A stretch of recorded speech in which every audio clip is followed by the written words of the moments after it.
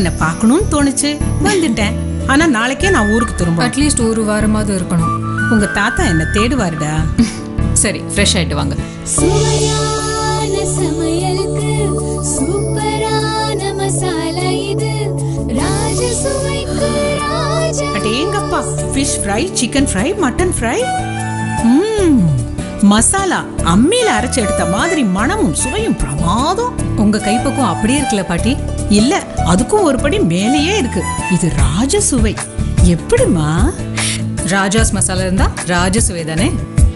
பாரம்பரிய முறையில் தயாரிக்கப்படுகின்ற ராஜாஸ் மசாலா வகைகள் ஹைதராபாத் தம் பிரியாணி ஃப்ரை சிக்கன் மசாலா மற்றும் கரம் மசாலா. பாரம்பரியத்தின் பெருமை ராஜசுவையின் அருமை ராஜாஸ் மசாலா.